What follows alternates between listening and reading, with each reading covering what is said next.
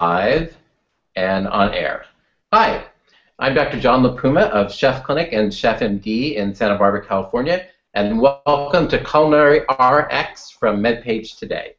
Culinary RX is our eight-minute primer on prescribing the right foods and avoiding the wrong foods for a specific patient and his case. And I'm so happy to have with me this morning two experts in culinary medicine, Dr. Michael Roizen, an internist, and anesthesiologist, and chief wellness officer of the Cleveland Clinic, and Dr. Robert Lustig, a pediatric endocrinologist at UCSF and a professor of pediatrics there. Good morning to both of you. Thanks so much for being here. It's really a pleasure.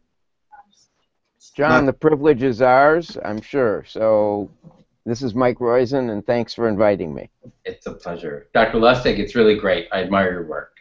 Uh, thank you for having me, and especially as a pediatrician commenting on 54-year-olds. You know, I'm really out of my element here.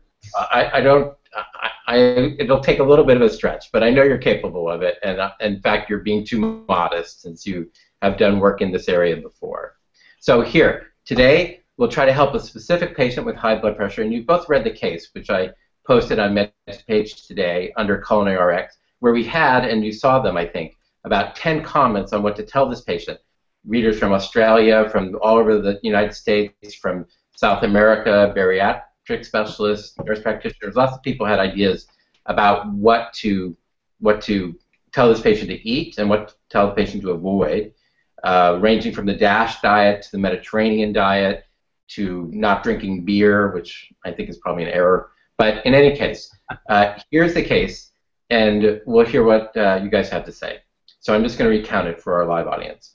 Um, a 54-year-old Caucasian man who's asymptomatic presents for a checkup. He doesn't have medical problems, but has been told in the past that his blood pressure is a little high. He doesn't take medications. He tries to eat healthy. He doesn't salt his food, which is important, and he walks his dog every Sunday. Um, his physical exam is notable because he's a waist circumference of 41 inches and a body mass index of 38.2 kilograms per meter squared and a blood pressure of 168 over 96 in his left arm, measured twice, five minutes apart, sitting down like you're supposed to do it. Uh, he takes a multivitamin when he remembers. He doesn't take prescription medication again. And his labs, cholesterol, blood sugar, blood count, all within normal limits. He's prepared to take an ACE inhibitor, a common medication, of course, as you know, for hypertension and begin a more rigorous exercise program. But he really wants to optimize his diet. So, for about a minute or a minute and a half each, um, and uh, Dr. Lustig, I'm going to give you the first shot. Um, what eating plan would you recommend? What foods and beverages should he specifically avoid? And which should he consume? And if you know it, how much should he consume of the foods that are good for him? Well, the first thing I would say is that if this guy is only walking his dog on Sunday, we better take the dog's blood pressure first. uh, clearly, what this guy has in 10 words or less is he has metabolic syndrome. And you can tell from his waist circumference, you can tell from his BMI, and you can tell from his blood pressure. Even though we don't have the triglycerides, even though we don't have the glucose tolerance, you know, we can be pretty sure that this guy manifests metabolic syndrome. The question is, how do you treat metabolic syndrome? Now, this guy says he tries to adhere to a healthy diet. I don't even know what that means. You know, he says that his wife does the shopping, but what is it that she buys? We need to know a whole lot more in order to be able to make a rational, accurate prescription. If he is consuming processed food, the fact that he doesn't salt his food is sort of irrelevant because he is salting his food whether he recognizes it or not. The other issue, of course, is the beer, the 12 ounce beer that he's consuming is uh, not helping matters because it is helping contribute to metabolic syndrome as well. Um, the likelihood is that he's getting a tremendous amount of extra sugar in his diet if he's consuming processed food, and that in and of itself raises blood pressure. It's been referred to as the other white crystals. So it's not all just about salt. The bottom line is what I would tell this guy is if he's eating processed food, stop, eat real food. And what kind of real food, I think, is very much up to him and his wife as to what they can ultimately agree on, as long as it doesn't come from a uh, freezer or from a, um, uh, a, a, takeout uh, menu. I think uh, it's a good start. Okay. Is there an eating plan that's specific that you would recommend? Uh, I think that there are probably several eating plans that would probably work in this uh, venue. Certainly, the Mediterranean diet could. Um, I think uh, the uh, paleo diet could work in this uh, in this instance. Probably the only diet that has been shown to be effective for metabolic syndrome, but that I would not advocate for in this patient would be a traditional Japanese diet because of the high salt content. But other than that, if it's real food, if we're talking low sugar, high fiber, if we're talking about foods that get your insulin re resistance down, your insulin sensitivity up, uh, I think it would probably do the trick. Okay, that's a. I understand that as a general approach. Um, let me let me uh, let's try Dr. Roizen. So, um, and then we'll come back to you, and you guys can uh, uh, discuss the differing ideas. Um, Dr. Roizen, um, which eating plan would you recommend? Which foods should he avoid, and which foods should he specifically consume? Well, the worst part, John, is I agree with uh, Robert a um, entirely, but I think th- that I would actually say okay, we know 10,000 steps a day breaks down insulin resistance. He has to get in another habit. And then you want to analyze is he addicted to some of these foods and which foods it is, and to get him off of whatever foods he is addicted to. So, in, in that goal, I avoid the five food felons in virtually everyone simple sugars, added syrups, any grain that isn't 100% whole grain, saturated fat, and trans fat. So I think those are totally out for anyone at risk or who has metabolic syndrome. And then, um, and that obviously includes those things that cause inflammation, such as red meat, um, egg yolks, and other things that cause inflammation. So, and I think it's important to find out where, if he has stress, and help him manage that. So it's the basic three things: is you want to go on a Mediterranean or DASH diet. I call it, in fact, the the diet that came out that is the mind diet is exactly you on a diet. So I'm obviously prejudiced because it's exactly what's in our book, but it can't be done without physical activity if he's going to lose the weight, and it can't be done without helping him manage stress. So in those categories, I would do that, and yes, I would add you know, he's I would tell him to take to split the multivitamin in half, take half in the morning, half in the evening, add some vitamin D, make sure he's getting uh, DHA, but and and then talk to him. He's 54. Find out to make sure he's in a risk group that is appropriate for two baby aspirin a day with half a glass of warm water before and after. But it's a regular wellness program. I don't think it is just a diet alone. So those are my thoughts. Okay, so you both recommended something more comprehensive than um, than uh, a comprehensive approach. Um, but when you're sitting with him, which foods do you tell him to eat now to lower his blood pressure? Well, the first thing I would say is that what foods dr- drive metabolic syndrome? And the short answer to that is it's refined carbohydrate and sugar.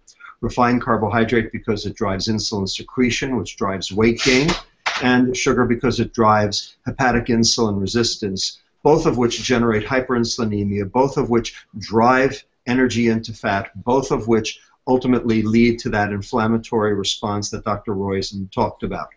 Now, this guy says that he eats healthfully. I don't know that anybody in America eats healthfully today.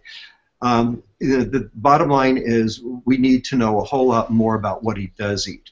If he's consuming uh, significant amounts of processed food, he's getting enormous amounts of sugar and salt that he doesn't even know about. He may be doing it under the guise of low fat, since so many people are on a quote low fat diet, and that is likely actually driving his metabolic syndrome rather than helping it. So I would say before we uh, jump into a specific uh, type of uh, dietary plan, which is so hard for people to stay on because virtually every diet regresses to the mean. Christopher Gardner showed that very nicely in his A to Z study. Let's just get them onto some real food, see how well that does, and then we can tailor and tweak that diet as necessary based on the uh, response that he demonstrates uh, uh, when we change his. Uh, so you might want a uh, a dietary history from him. For sure. Number one. In, in order to be able to say change this, don't change that. Right. Absolutely. Is that correct? For number one, find out what it is they're eating because I'll tell you right now, it's not his 12 ounces of beer that did it. That the 12 ounces of beer is a marker for his general dietary uh, non-restraint. Or maybe just his taste in hops. For um, sure. Dr. Roizen, what would you tell him to eat or avoid? Very specifically, he's in front of you. I know you've done this with hundreds of executives. Well, again, what you have to do is find out what does he specifically eat, and you find and you find those foods, and you go through it, the dietary history, and I do that with people because I take a little longer than most people, but I go through it, and if you don't, if you don't have the time, you have a dietitian do it, and you find out specifically what he eats what has sugar in it, what has simple sugars in it, and you avoid those things. And I also am strong at avoiding uh, those things with carnitine, lecithin, and choline with it, and find things he loves to eat and spices he loves to do. You taught me that you can do this with spices, John. And so you're the one who is a real pro at getting people to love life. You want them to love life, and maybe he should walk to the grocery store with his wife, and so that they get some exercise in daily, if you will. But I think that 10,000 steps a day, you know, you make sure he's got a pedometer and you make sure he starts walking at the same time because you're not going to cure this with food choices alone. And okay. take dog with you. With okay, so supportive. All right. So here, I'll, let me throw out a few foods, and then we're going to um, wrap up because we're trying to keep this short and pragmatic. Um, uh, so you know, I'm, I know both of you know that um, there's at least one small study, actually now two, three small studies that show that eating beets um, because of their nitrate, which is converted to nitric oxide, expands uh, arterial, uh, uh, allows arteries to expand, improves blood flow, uh, and actually lowers blood pressure quite significantly, up to 16 millimeters of mercury in one study, both beets and beet juice. Does that have a role? Um, I have nothing against beets. I actually didn't know. I didn't know anything about the um, uh, the effect of the nitrates and nitric oxide. In general, we tend to tell people to avoid nitrates for the cancer-causing pr properties that they have. But if this patient has a specific problem with hypertension and we can do something to cause vascular dilatation to lower systolic pressure, I'm certainly not against it. My concern is that most of these patients, especially those with metabolic syndrome, have very high uric acid levels. And uric acid, as you know, is the uh, en uh, endogenous inhibitor of nitric oxide synthase. So, you know, I would say that before you start adding beets, let's get rid of the sugar. Fair and, enough. And, and the worry I have with beets is that they do have a lot of sugar with them. Yes. And so I, I don't know the I don't know the trade-off between those. I haven't limited beets in, in any of the patient populations, but haven't advocated it. So, John, you've got to, you know, this is like a short term good for a long term bad. Is the beets going to hook him on the sugars again and get him to do that? So, I think you've got to, and I just don't know the answer to that. So, I don't specifically advocate that. If they like beets as a vegetable choice, I don't inhibit it. Better to have a vegetable than not. really good answers, by the way. Terrific answers. Um, Dr. Lustig, by the way, that the, the sodium nitrate is what's converted with heat to nitrite and nitrosamines. Um, so that's different than the organic nitrate that occurs within beets. It's a different chemical compound. But in general, you're right, and uh, preserved foods have often sodium nitrate and nitrite. Um, there's actually also very good data for uh, hibiscus tea. You may have read of a um, uh, hibiscus tea which is used in uh, the Middle East and in South America and, and in uh, Mexico as well. It's also called Jamaica, or which is spelled like Jamaica, um, and it's the sepals of a hibiscus that are dried uh, and are in red zinger tea. I have a here's a red zinger tea bag. Um, we, the dangers that have, that have been shown is 1.25 grams of of uh, hibiscus um, uh, simmered for 20 minutes and uh, drunk um, in eight ounces of water actually has lowered systolic blood pressure um, uh, of 14 mils of mer- mercury in some people in two studies. Um, and this is used as a, as a folk medicine, but it's also used in ways that um, are specific to lowering blood pressure, in part because the anthocyanins or color compounds appear to act like ACE inhibitors, like captopril does. It's hmm. actually been tested against captopril and shown to be equivalently effective. Uh, John, I'd like to say, I'd like to say what I, what I, what we really need to do is get someone who will coach this guy daily, um, or every other day, to walking and eating healthier, as well as managing stress, and then make a deal with him. At least I would, and say if your blood, if your weight's coming down and your blood pressure's coming down, then we won't start a ACE inhibitor and you don't have to go to specific foods. But if it isn't, then we go to an ACE inhibitor or specific foods that will take the place of it. So I try and make a, a, a if you will, contract with patients so that they know where the endpoint is. And the endpoint for this guy is losing weight is probably as important as getting rid of the blood pressure initially so that's the main goal is to lose that 5% of weight initially and to get, because he's aging a great deal. His arteries are aging a great deal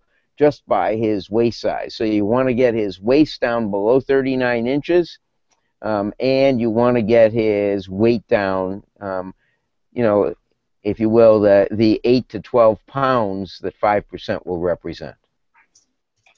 Fair enough. And of course, the reason we want to treat high blood pressure is to reduce risk for cardiovascular and, and other atherosclerotic events. Um, so, in closing, um, is there uh, what I hear from both of you is that you would like much more detail about what it is he's currently eating, and um, you would like to make sure that his sugar levels, uh, both in uh, food and in processed food, um, decline because that seems to be a key towards exacerbating both insulin resistance and inflammation and leading towards uh, towards aging, particularly arterial aging, uh, and that you would focus on knowing more of the detail of what he's eating so that you could tweak it and allow him to make better, more whole food choices. Uh, is that an accurate summary? I think that's pretty accurate. What I would say is that he doesn't even know what he's eating. Uh, if he's eating anything that even resembles a standard American diet. And uh, while he thinks he's eating healthfully, because the health claims on packaging say he's eating healthfully, I can pretty much guarantee you he's not, because he's got a BMI of 38.2 and he's got a blood pressure of 168. So we already know he's not eating healthfully. And he's certainly not exercising healthfully either. And I, I totally agree because I learned from John La Puma. And by the way, John, I think your background in there, the background of the office that is as disheveled as all of us have it, you've, you've captured the office perfectly. it's where I live. Um, uh, and last question. Our commenters said Mediterranean diet and DASH diet. Three or four of them said uh, one or the other. Up or down on the Mediterranean or DASH diet for this guy, or do you not know enough yet? Um, I think that the DASH diet certainly works for hypertension. I think the Mediterranean diet works for metabolic syndrome. I think a lot of diets work for both of them. Uh, I'm not for or against any one individual diet.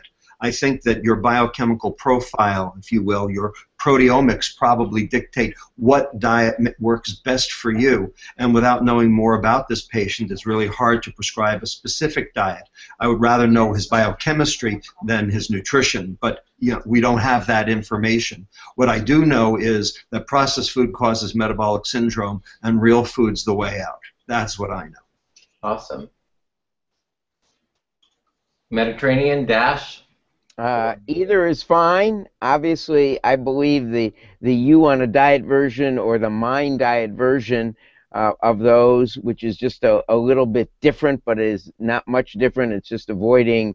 Um, it's a greater avoidance of saturated fat in red meat and in uh, things that change your microbiome is all I would do differently than either of those, and I would get a little more specific on it. So I avoid cheese. I avoid um, red meat totally and uh, yolks totally. So that that's the only change or modification I would make because I think the science has advanced past just, um, if you will, Dash or uh, Mediterranean. Really great. So smart. So well informed. So focused. Thank you very much. Um, so there you have Thank it. you. No, it's great. We have a couple of uh, different approaches that have a unifying theme uh, about uh, how to use lifestyle and food to approach uh, treatment of hypertension. Um, for more information, please read our transcript and check out the reference links below with a citation both from Dr. Lustig and from Dr. Roizen and some additional links about high blood pressure and food and lifestyle. And if you like, send us your own patient story so we can write a culinary RX for you. Just go to medpagetoday.com and click on Submit Culinary RX Case, and we could feature it in an upcoming segment. Uh, please share this with your friends and colleagues and try to get a Culinary RX from your doctor today. For Culinary RX and MedPage Today, Dr. Robert Lustig, Dr. Michael Roizen, thanks so much, and I'm John La Puma. Take care.